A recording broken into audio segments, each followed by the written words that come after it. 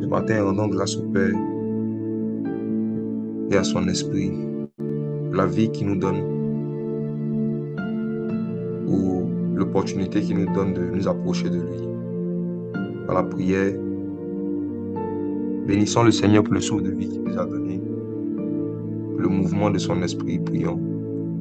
Père, ce matin, je te dis merci pour ta grâce, je te dis merci pour ta faveur. Je te dis merci, Père éternel, pour ce que tu fais dans le cœur et les pensées de chacun de nous. Je te dis merci pour le souffle de vie que tu nous as donné. Je te dis merci, toi, consolateur. nous console dans nos blessures.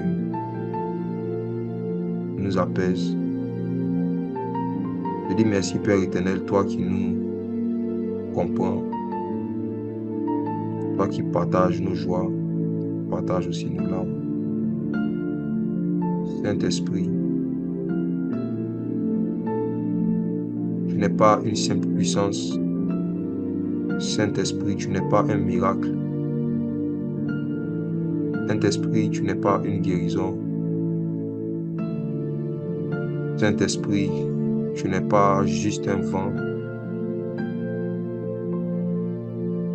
Saint-Esprit, tu es un ami. Tu es un père. Tu es un frère. Saint-Esprit. Saint-Esprit, tu es une boussole. Saint-Esprit, tu n'es pas une sensation. Tu es, tu es une révélation, Saint-Esprit. Saint-Esprit, tu n'es pas un songe. Saint-Esprit, tu es une école. Saint-Esprit. Manto de lavrado se casa palofia. Y lavras copendelego shibra la casotefalia. Et la bralus que pantalivas que palio. Saint-Esprit, ta présence est un hôpital. Saint-Esprit, ta présence est une université. Saint-Esprit.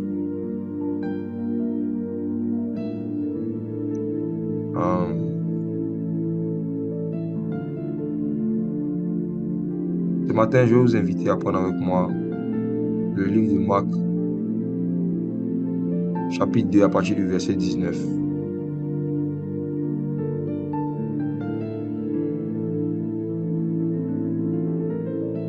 Le Marc chapitre 2 à partir du verset 19. Du moins, moi lire à partir du verset 18. Nous parle en fait d'une conversation entre le Seigneur Jésus et les disciples de Jean. Je lis le verset 18, il est écrit. Les disciples de Jean et les pharisiens jeûnaient. Ils vinrent dire à Jésus, pourquoi les disciples de Jean et ceux des pharisiens jeûnent-ils, tandis que tes disciples ne jeûnent point? Pourquoi les disciples de Jean et ceux des pharisiens jeûnent-ils, tandis que tes disciples ne jeûnent point? Alors, avant même d'aller plus loin, je vais commenter verset par verset. Je vais même commenter déjà leurs questions pourquoi est-ce que les disciples de Jean et les pharisiens ont demandé à Jésus pourquoi ses disciples ne jeûnent pas? La raison est simple. C'est que le mot disciple signifie jeûneur. être disciple, c'est être en jeûne. On ne peut pas dissocier la notion de disciple avec la notion de jeûne. À partir du moment où quelqu'un devient disciple, il devient jeûneur. Donc, les disciples de Jean et les pharisiens savaient que si quelqu'un se fait appeler disciple et qu'il ne jeûne pas, il n'est pas un disciple, c'est un croyant. Hmm. Je reprends. Si quelqu'un se fait appeler disciple et qu'il ne jeûne pas, ce n'est pas un disciple, c'est un croyant. Si quelqu'un suit un maître que ce maître soit Jean, que ce maître soit Christ, que ce maître soit l'un des pharisiens, à partir du moment où quelqu'un suit un maître et qu'il prouve qu'il est en train de suivre un maître, c'est qu'il jeûne. Donc, s'il y a l'absence de jeûne, il y a l'absence de disciple-là. L'absence de jeûne, c'est l'absence du disciple-là. Et l'une des raisons pour lesquelles le Seigneur a établi en fait le jeûne, c'est pour que nous puissions devenir des disciples. Pour que nous puissions apprendre le disciple-là. Pourquoi tes disciples ne jeûnent pas? Notre vérité est dans le verset 19. Jésus leur répondit, Marc 2, verset 19, Les amis de l'époux peuvent-ils jeûner? Pendant que l'époux est avec eux Aussi longtemps qu'ils ont l'époux avec eux,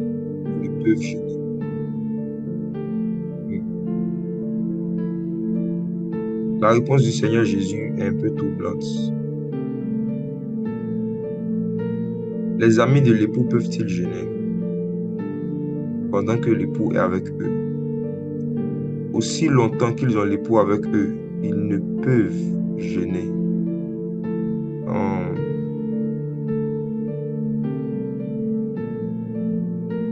Seigneur Jésus est en train de dire par là que sa présence physique sur la terre, dans le contexte et dans la période dans laquelle il parlait, était la cause de l'incapacité de ses disciples à jeûner. En d'autres termes, ses disciples ne jeûnaient pas, pas parce qu'ils ne voulaient pas, mais parce qu'ils ne le pouvaient pas. Ses disciples ne jeûnaient pas parce qu'ils ne le pouvaient pas. Et pourquoi est-ce que ses disciples ne pouvaient pas jeûner?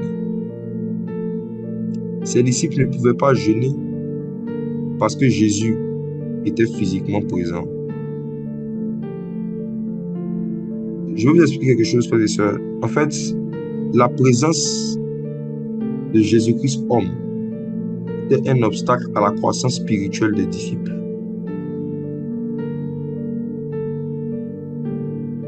Je reprends. La présence de Jésus-Christ homme était un obstacle spirituel à la croissance des disciples. Les disciples de Jésus ne pouvaient pas pratiquer le jeûne à cause de la présence humaine et physique de Jésus-Christ homme. J'aimerais à travers ce que je m'apprête à partager avec vous dans les Écritures, changer votre perception de la présence physique et la présence humaine de Jésus-Christ homme. Le Seigneur dit, les disciples peuvent-ils jeûner? Est-ce qu'ils peuvent s'affliger pendant que le poids avec eux? Ils ne peuvent pas. Il dit qu'ils ne peuvent jeûner. Ils ne peuvent jeûner. En d'autres termes, tant qu'ils sont en contact avec le corps humain du Messie, ils ne peuvent jeûner. Même s'ils veulent, ils ne peuvent pas. Quelle est la raison?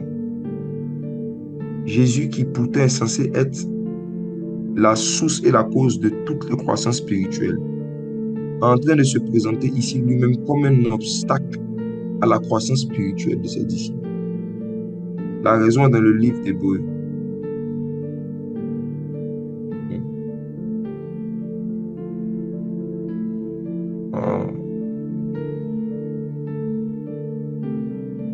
On va lire Hébreu chapitre 10, verset 19. Hébreu 10 à partir du verset 19. Je lis.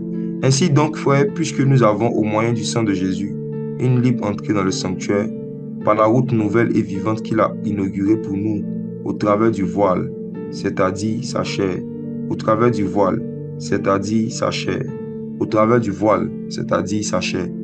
La chair de Jésus, homme, était un voile qui empêchait les disciples de voir la gloire de Dieu. Lorsque le Seigneur a montré le tabernacle à Moïse, je fais un saut en arrière. Lorsque le Seigneur a montré le tabernacle à Moïse, il lui a dit que le temple devait être constitué de trois parties. Le parvis, le lieu saint et le saint des saints. De trois parties. Et vous allez voir que Lorsqu'on devait passer du parvis au lieu saint, il n'y avait pas de problème. Mais entre le lieu saint et le lieu très saint, il y avait un voile. il y avait un voile, un grand voile. Et ce voile-là, ce n'était pas un morceau de tissu comme les voiles modernes aujourd'hui que c'était une femme porte, non. Ce voile, c'était un tapis. Quand vous lisez l'Ancienne Alliance, vous allez voir que dans la description, en fait, que le Seigneur a donné du voile, le voile, c'était un tapis. Donc Dieu avait demandé qu'on mette un tapis lourd et un tapis épais entre le lieu saint et le lieu très saint. Pourquoi? Pour empêcher les sacrificateurs de pouvoir avoir accès au lieu saint et de voir l'arche, de voir la gloire. Et le lieu très saint, personne ne pouvait y entrer, personne n'avait le droit d'y entrer, sauf le grand prêtre, une fois par an. Donc le but du voile était d'empêcher le maximum de personnes de pouvoir avoir accès à l'arche qui était la gloire de Dieu. Et ce voile, en fait, c'était le corps du Messie. Ce voile, c'était la chair du Messie. C'est ce que l'auteur de l'Épître aux Hébreux nous dit ici. Donc, quand Jésus, en tant qu'homme, est venu sur la terre, sa chair humaine, sa chair physique que les disciples voyaient était un voile qui les empêchait de toucher l'arche, qui les empêchait de voir la gloire de Dieu. Et voici pourquoi ces disciples ne pouvaient pas jeûner, car ce n'est pas possible d'expérimenter la gloire de Dieu de manière régulière si on ne jeûne pas de manière régulière. Or, ce n'était pas possible en fait pour les disciples de jeûner de manière régulière tant qu'ils étaient régulièrement en contact avec la chair du Messie, c'est-à-dire le voile. Donc Jésus dit aux pharisiens, les disciples ne peuvent pas jeûner parce que je suis un voile. Je les empêche de jeûner.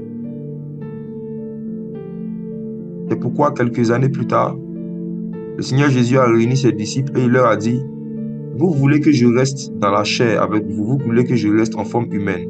Mais en fait, il est avantageux pour vous que je m'en aille. Ah. Il est avantageux pour vous que je m'en aille. Celui qui leur a dit cette phrase, ce n'était pas Dieu, c'était le voile. Hmm. Le voile leur a dit, c'est un avantage pour vous que je quitte. C'est lorsque je vais quitter la terre que vous allez commencer à vivre certains avantages. Il est avantageux pour vous que je m'en aille. Tant que je ne vais pas, vous ne pouvez pas jeûner. Il est avantageux pour vous que je m'en aille. Ma chair vous empêche de recevoir certains avantages. Et maintenant, je réponds à quelqu'un qui se demande, pourquoi est-ce que depuis le début de ma conversion, j'aimerais que le Seigneur Jésus-Christ homme m'apparaisse? Je veux voir Jésus homme. Pourquoi je n'ai pas eu la grâce que Jésus homme marche avec moi comme il a marché avec les apôtres Je vais vous poser une question. Qui s'est déjà demandé pourquoi il n'a pas eu la grâce de naître autant des apôtres? Pouvoir voir Jésus-Christ homme et marcher avec lui et toucher Jésus-Christ homme? Qui a déjà eu cette envie, cette pensée? Moi, j'ai eu cette pensée pendant des années, dans le début de ma foi. Pourquoi Est-ce que Dieu n'a pas permis que la majorité des croyants naissent au temps où Jésus-Christ homme était sur la terre C'est parce que le Seigneur Jésus ne voulait pas nous empêcher de recevoir des avantages. C'est parce que l'amour qu'il a pour nous, qu'il a manifesté envers nous, est plus grand que celui des apôtres. Hmm. Les apôtres ont connu Jésus avec un voile. Et ensuite, pendant trois ans et demi, et après, ils l'ont connu sans voile mais nous l'avons connu directement sans voile. C'est pourquoi il a dit heureux ceux qui ont cru sans avoir vu. Bénis ceux qui ont cru sans avoir vu. Nous sommes plus bénis que les apôtres et plus heureux que pourquoi? Parce que nous n'avons pas vu le voile. Nous avons vu directement l'Esprit. Nous avons eu directement accès à la gloire. Et ça, c'est un avantage. Ce n'est pas un inconvénient de ne pas avoir vu Jésus-Christ homme. Bien au contraire, c'est un avantage. Parce que sa chair était un voile. Sa chair était un voile. Sa chair était un voile. Et lorsque le Messie a été crucifié, parce qu'il était un jeune, à quelques minutes de sa mort, il a rendu l'âme, il a poussé un cri, et le voile du temple se déchira en deux. Le voile du temple se déchira en deux. Le voile du temple se déchira en deux. Hmm. Quand le voile du temple s'est déchiré, en fait, c'était la déchirure de la chair de Jésus. Plus sa chair se déchirait, plus le voile se déchirait. Et les pharisiens savaient que le, corps de Jésus, la chair de Jésus était le voile. Il n'allait jamais le déchirer. Parce que la loi interdisait de déchirer le voile. On n'avait pas le droit, le droit de déchirer le voile. J'aimerais te dire quelque chose. Il y a des personnes que Dieu a permis que tu rencontres dans ta vie qui t'ont déchiré. Il y a des personnes qui ont eu des attitudes envers toi qui t'ont déchiré. Il y a des personnes qui ont eu des paroles envers toi qui t'ont déchiré. Hmm.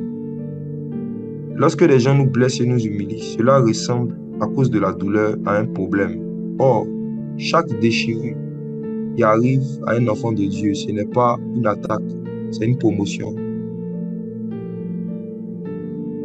Pourquoi est-ce que le voile devait se déchirer? Pourquoi le corps de Jésus devait se déchirer? Pour que ce qui était derrière le voile sorte. Pour que ce qui était caché derrière le voile sorte. Et tu sais, il y a des talents à l'intérieur de toi. Il y a des dons à l'intérieur de toi. Il y a des capacités à l'intérieur de toi qui ne peuvent jamais être vues si tu n'as pas été déchiré dans ta chair. Aujourd'hui, ce voile, c'est notre ego, c'est notre chair. Et souvent, Dieu permet qu'on passe par des situations où notre ego notre chair est vraiment déchiré. Le but de cette déchirure, c'est la révélation de l'arche. Derrière chaque voile, derrière chaque chair, il y a une arche. Derrière chaque blessure, il y a un talent, il y a un don spirituel qui doit se manifester. Les blessures et les humiliations, pour nous, ne sont pas des attaques, ce sont des promotions. Et à travers le jeûne, on donne la possibilité au Père de déchirer davantage notre chair. Les disciples ne peuvent pas jeûner pendant que l'époux est avec eux. Jésus t'aime tellement qu'il refuse de t'apparaître physiquement et de marcher avec toi physiquement. Jésus t'aime tellement qu'il a refusé de prendre une forme humaine, de peur que tu sois empêché de jeûner. Parce que si l'époux est avec toi physiquement, tu ne peux pas jeûner. Et si tu ne peux pas jeûner, tu ne peux pas avoir certaines expériences avec Dieu. Donc c'est par amour pour nous que Jésus-Christ, homme, a décidé de partir de la terre. Il est avantageux pour nous. Il est avantageux pour nous qui s'en aille. L'absence de la présence humaine de Jésus n'est pas un problème, c'est un avantage. Un avantage. Tu vas dire merci avec moi ce matin au Seigneur pour l'avantage qu'il nous a donné de ne pas l'avoir connu humainement. Ce matin, tu vas dire merci Seigneur Jésus de m'avoir empêché de te connaître dans la chair, de te connaître humainement. Je me rappelle de l'apôtre Paul qui disait que si nous avons connu quelqu'un dans la chair, nous ne le connaissons pas. Parce que chaque chair est un voile. Tu vas dire merci au Seigneur Jésus de ne pas t'avoir exaucé lorsque tu voulais qu'il marche avec toi humainement. Tu vas lui dire merci ce matin. Tu vas lui dire merci de t'avoir donné directement accès à la gloire, à l'esprit et de t'avoir empêché de connaître le voile. Et avec moi, rends grâce à Dieu. Père, ce matin, je te dis merci pour ta faveur. Merci parce que tu ne m'as pas exaucé. Merci, Père, parce que lorsque j'ai demandé à te voir humainement et à marcher avec toi humainement, lorsque j'ai demandé à ce que ta chair soit présente dans ma chambre et que je marche avec toi en forme humaine, tu ne m'as pas exaucé. Je ne savais pas que ton corps était un voile pendant des années. Je ne savais pas que ta chair était un voile qui empêchait les humains d'expérimenter la gloire. Je ne savais pas que ta chair était un voile qui empêchait même les disciples de jeûner. Mais Père, ce matin, par les Écritures, je comprends qu'il était avantageux pour moi que tu t'en ailles qu'en fait, en partant, ce n'est pas un inconvénient que tu m'as donné, mais c'est un avantage. Merci de m'avoir fait l'avantage de te connaître sans voile, sans chair, de te connaître en esprit, par l'esprit. L'apôtre Paul t'a connu, pas dans la chair. Il n'avait pas eu d'intimité avec toi quand tu étais physiquement présent en Israël. Mais l'apôtre Paul a été très proche de toi lorsqu'il t'a connu. Plus proche que ceux qui t'ont connu humainement. Et il a expliqué cela en disant que si quelqu'un a connu Jésus dans la chair, si quelqu'un a connu Christ dans la chair, il ne le connaît pas. Car Jésus n'est pas une chair, il est un esprit. Or, le Seigneur, c'est l'esprit, ce n'est pas la chair. Le Seigneur, c'est l'esprit. La chair, c'est le voile. Merci, Père, de t'être présenté à nous sans voile. Merci, Père, de t'être présenté à nous par l'esprit, en esprit. Nous sommes heureux d'avoir cru en toi sans avoir vu ta chair. Merci. Au nom de Jésus.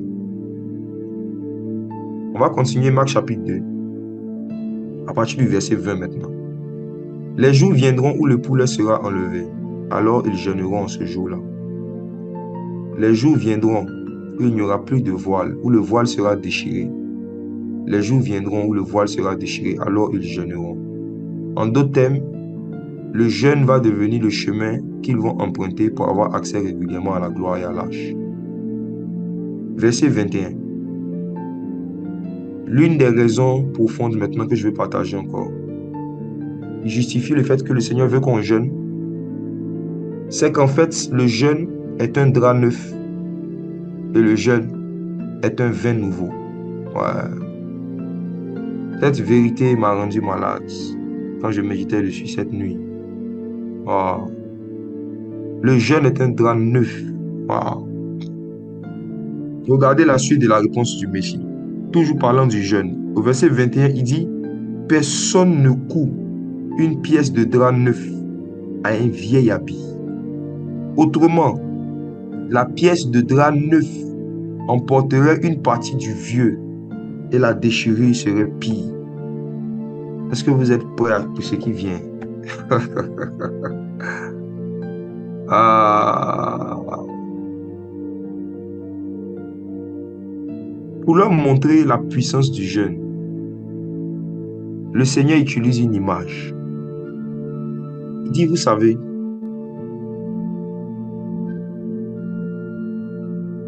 le jeûne, ce n'est pas une pratique religieuse c'est un manteau neuf. Oh. Le jeûne est un manteau neuf. Et si je dis à mes disciples de jeûner, si je dis à mes disciples de pratiquer le jeûne, je suis en train de leur dire de se revêtir d'un manteau neuf. Or, dans le contexte dans lequel ils étaient, les disciples n'étaient pas encore nés de nouveau. Les disciples n'avaient pas encore reçu le Saint-Esprit. Et le Seigneur dit, on ne, met pas le drap neuf sur un vieil habit. Le vieil habit, c'était l'ancienne alliance. Le vieil habit, c'était la loi de Moïse. Le vieil habit, c'était le vieil homme. Le vieil habit, c'était le judaïsme.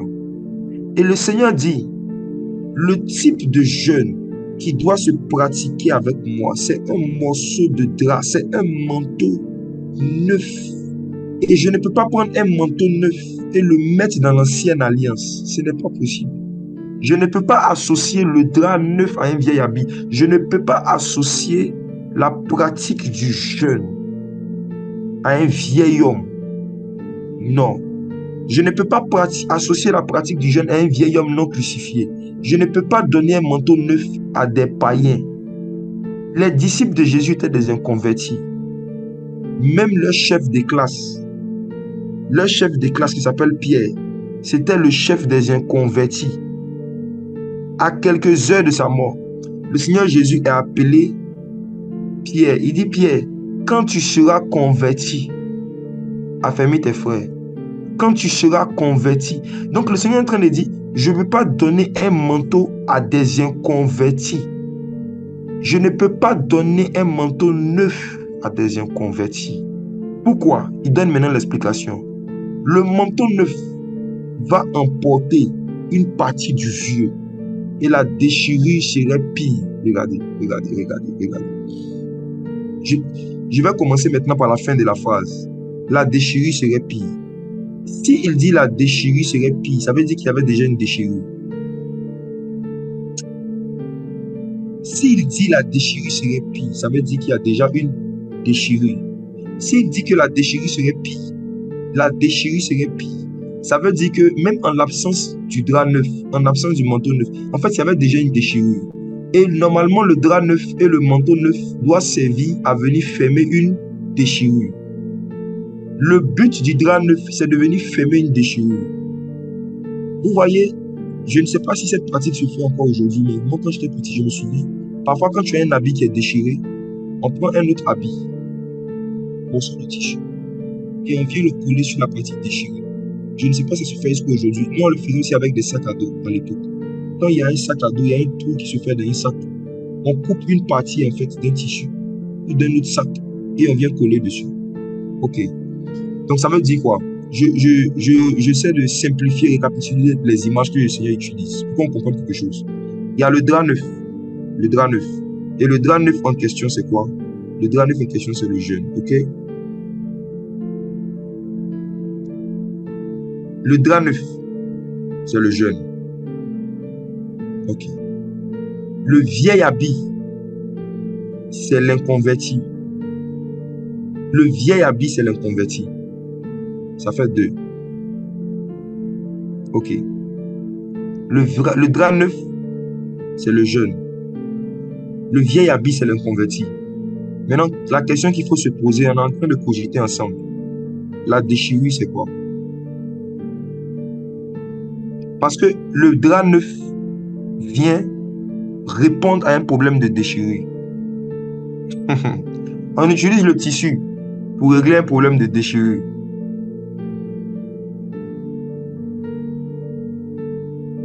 Non, la déchirure, c'est une blessure intérieure.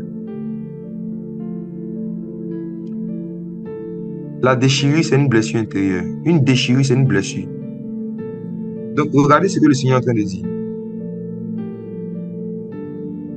Chaque être humain, chaque être humain a à l'intérieur de lui une, une déchirure, une blessure. Chaque inconverti même a à l'intérieur de lui une blessure.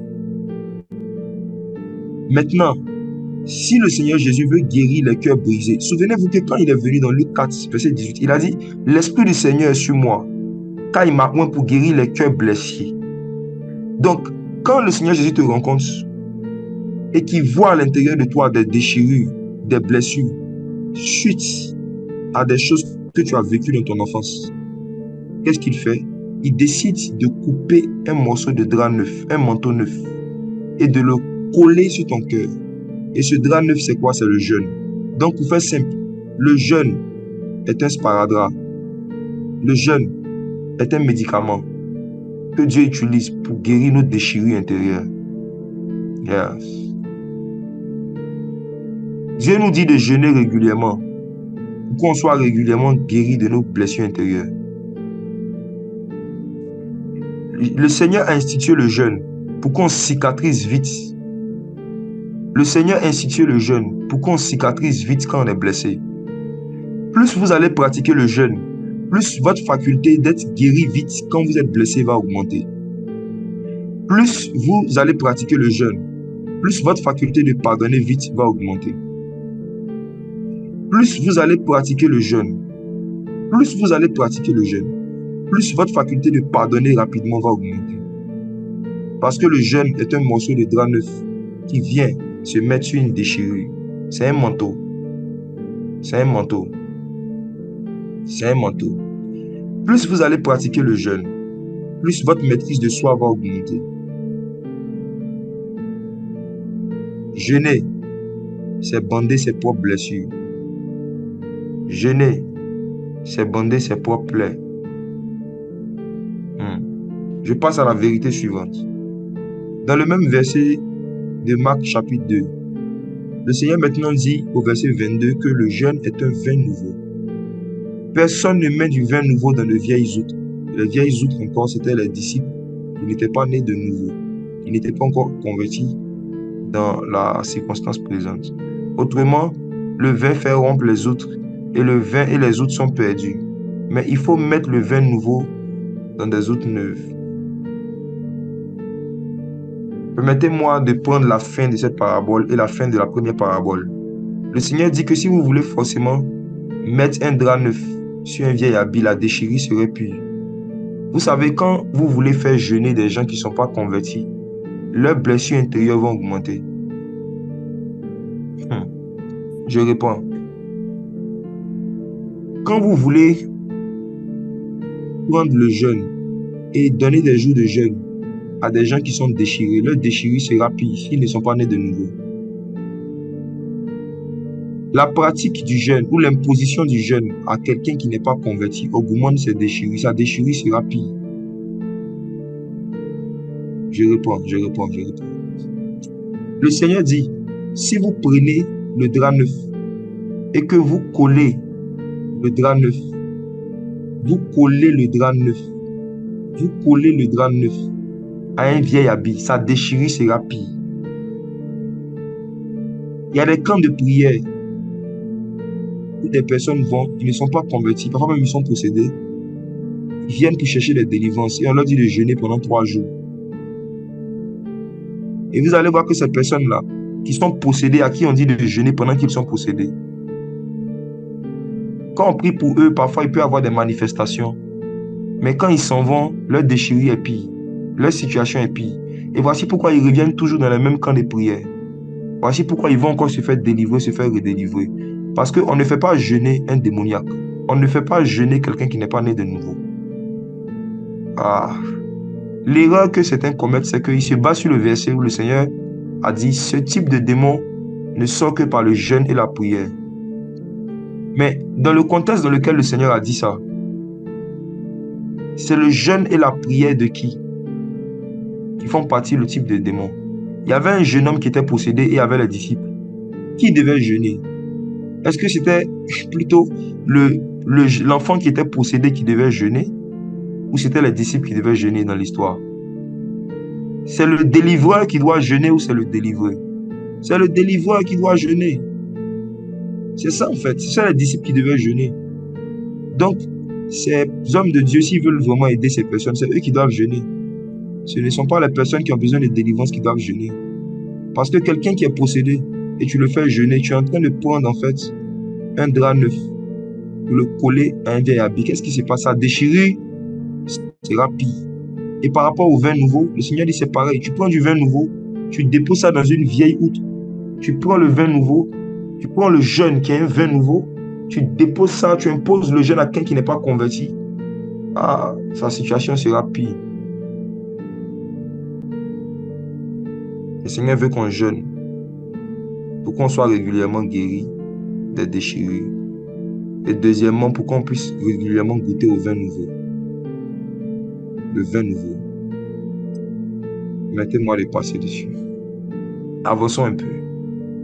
Une autre raison profonde qui justifie la pratique du jeûne, c'est qu'en fait, le jeûne permet de conserver l'onction. Je vais partager maintenant une série de vérités profondes sur l'onction, sur le lien entre l'onction et le jeûne. Voici ceci. La réception de l'onction est gratuite, mais la conservation de l'onction est payante. Je rembobine.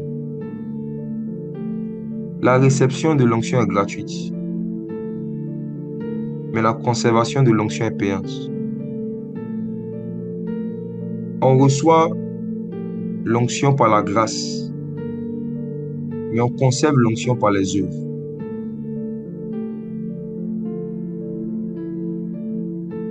Je reprends, je rembobine. On reçoit l'onction par la grâce. Et on conserve l'onction par les œuvres. On ne fait rien pour recevoir l'onction, mais on fait tout pour conserver l'onction. Je donne des exemples dans toutes les Écritures. Vous allez remarquer que Moïse n'avait rien fait de particulier, il suivait juste ses moutons. Lorsque soudain, il a vu une flamme de feu dans un buisson et s'est approché. Et là, Moïse a reçu le don d'opérer des miracles. Moïse a reçu la capacité d'opérer des signes et des prodiges. Et par la grâce de Dieu, Moïse a excellé dans les miracles. Il n'a rien fait pour recevoir le don d'opérer des miracles, parce que c'est un don. Il n'a rien fait. Il juste Il a juste marché. Moïse n'a rien fait. Mais quand Moïse a commencé à exceller dans les miracles, il est allé jeûner 40 jours. Moïse a fait un long jeûne pas pour recevoir l'onction, mais Moïse a fait un long jeûne parce qu'il avait reçu l'onction. Moïse n'est pas allé jeûner 40 jours pour recevoir la capacité d'opérer des miracles. Mais Moïse est allé jeûner 40 jours parce qu'il avait reçu la capacité d'opérer des miracles. Moïse avait compris que il n'avait rien fait pour recevoir l'onction. Mais s'il ne faisait rien, il allait perdre l'onction. Ah. On reçoit l'onction par la grâce. On conserve l'onction par les œuvres. Et l'une de ces œuvres, c'est le jeûne. Une autre preuve dans les Écritures, je prends le Seigneur Jésus lui-même. La Bible me dit que le Seigneur Jésus s'est baptisé, le ciel s'est ouvert. Le Saint-Esprit est descendu sur lui sous la forme d'une colombe. Et après que le Saint-Esprit soit descendu sur lui, c'est là qu'il est rentré dans le désert. Permettez-moi de pouvoir corriger une mauvaise perception théologique de la puissance du Saint-Esprit de l'onction. Regardez. Hein? Parce que beaucoup ont lu que Jésus est sorti du désert revêtu de la puissance du Saint-Esprit. Beaucoup ont conclu que c'est après avoir jeûné 40 jours que Jésus a reçu la puissance du Saint-Esprit. Donc beaucoup se sont dit que si je veux être revêtu de la puissance du Saint-Esprit, il faut que je jeûne 40 jours. Or, c'est une erreur. C'est parce qu'il a été revêtu de la puissance du Saint-Esprit, comme Moïse, qu'il a pu jeûner après 40 jours. Jésus n'est pas allé jeûner 40 jours pour être revêtu de la puissance du Saint-Esprit. Jésus n'est pas allé jeûner 40 jours pour que le Saint-Esprit descende sur lui. Non. Mais c'est parce que Jésus a été revêtu de la puissance du Saint-Esprit. C'est parce que le Saint-Esprit était déjà descendu sur lui. Sous la forme d'une colombe. Il est allé jeûner 40 jours. Donc Jésus n'est pas allé jeûner 40 jours pour recevoir l'onction, mais il est allé jeûner 40 jours pour conserver l'onction qu'il avait reçue après son baptême. Il est rentré dans le jeûne parce qu'il était déjà rentré dans l'onction. Donc regardez quelque chose. Je vais aller un peu plus loin. Qui parmi vous, hier, est sorti de sa maison habillé? Qui est sorti habillé? Si tu mènes, si tu mènes non, si tu n'es pas sorti habillé, c'est que tu es un fou. Tous ceux qui sont normaux, qui sont connectés, nous sommes tous sortis de notre maison vêtus et revêtus. On est d'accord? Maintenant, je vous pose une question. Je prends un nom comme ça au hasard. Je vois par exemple Julien. Si on dit Julien est sorti de sa maison habillé, est-ce que ça veut dire que lorsque Julien est rentré dans sa maison, il était nu. Si on dit Julien est sorti de sa maison revêtu, est-ce que cela signifie que lorsque Julien est rentré dans sa maison, il était dévêtu, il était nu? Au contraire, c'est parce que Julien était revêtu qu'il est rentré dans sa maison revêtu et il est sorti revêtu. Peut-être qu'il est rentré dans sa maison en chemise blanche et qu'il est sorti en t-shirt noir. Il n'est pas rentré nu. Mais quand il est rentré, il a juste changé de vêtements. Aïe. Hmm. C'est quand Dieu te oint que tu dois commencer à jeûner. Et au fur et à mesure que tu vas jeûner, tu vas changer de manteau. Hmm. Le jeûne, la vie de jeûne est un dressing. H. La vie de jeûne est un dressing dans lequel ne peuvent rentrer que ceux qui sont revêtus. Et ils vont conserver leurs vêtements là-bas. Et ils peuvent même se changer là-bas, changer de vêtements. On ne jeûne pas pour recevoir l'onction. Mais on jeûne parce qu'on a reçu l'onction. Voici pourquoi quelqu'un qui n'est pas baptisé du Saint-Esprit et qui veut faire un long jeûne, sa déchirure sera pire. Il va avoir des problèmes de santé. Quelqu'un qui n'est pas oint, qui veut faire un long jeûne, il va avoir des problèmes d'ulcère. Il va avoir des problèmes de santé. C'est pourquoi vous allez voir que ceux qui ont fait les longs jeûnes dans la Bible l'ont toujours fait seul. Daniel a fait 21 jours. Il a fait seul. Il ne l'a pas fait avec Shadrach, Meshach, Abednego et tout Babylone. Parce que pour pouvoir faire 21 jours, il faut que tu sois oint. Moïse a fait 40 jours de jeûne. Il n'a pas fait les 40 jours avec tout le peuple. Encore moins avec Aaron. Même Aaron ne l'a pas suivi dans les 40 jours. Il a fait seul. Il a fait seul. Il a fait seul. Pourquoi? Parce que pour jeûner si longtemps, il faut être loin. Jésus, 40 jours. Il a fait les 40 jours. Il n'est pas allé avec tous les apôtres. Il a fait seul. Parce que Jésus était conscient que pour pouvoir jeûner si longtemps, il fallait être loin. Et dans cette saison de ta vie dans laquelle tu es, Dieu t'a oint. C'est pourquoi il te dit de jeûner. En fait, quand Dieu te met à cœur de jeûner, ça veut dire qu'il t'a oint. Chaque fois que vous avez à cœur de prendre même un seul jour de jeûne, un seul jour, chaque fois que vous avez à cœur de jeûner un seul jour, ça veut dire que Dieu vous a oint. Quand Dieu te dit jeûne, ça signifie je t'ai oint. Quand Dieu te met à cœur de jeûner, ça veut dire qu'il t'a oint. Ça ne veut pas dire qu'il veut te oindre. Ça veut dire qu'il t'a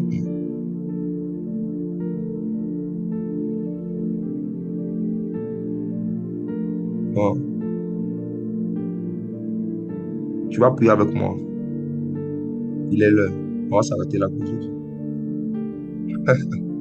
On va s'arrêter là.